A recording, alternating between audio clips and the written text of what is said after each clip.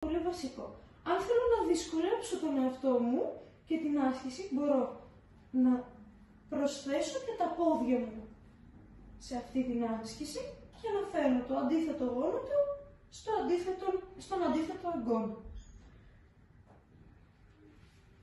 Και η τελευταία μας άσκηση είναι ραχαίοι, όπου σαπλώνουμε πρώτα. Θέλω να προσέξετε πάρα πολύ καλά τα πόδια σας να είναι ενωμένα και να ακουμπάνε το έδαφος. Πιέστε προς τα κάτω ώστε να μην σηκώνονται. Φέρνω τα χέρια μου σε ορθή γωνία δίπλα από το πρόσωπό μου, σηκώνω το στήθος μου να μην ακουμπάει στο έδαφος και κάνω μικρά μικρά λιβοκατεβάσματα προς τα πάνω. Νιώθω τη ράχη μου να σφίγγει. Αργά και σταθερά βγάζω ανάσες.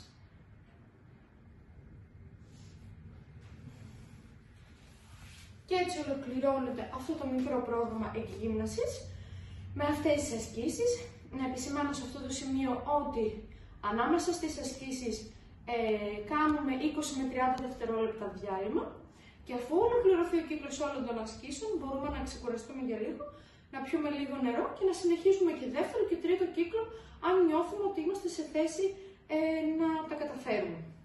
Δεν πιέζω πολύ τον εαυτό μου σε σημείο που να ζορίζομαι και να πονάω πάρα πολύ και αυτό που να θυμάστε είναι ότι η, η επανάληψη των ασκήσεων καθημερινά είναι αυτή που θα με βοηθήσει να βελτιώνω.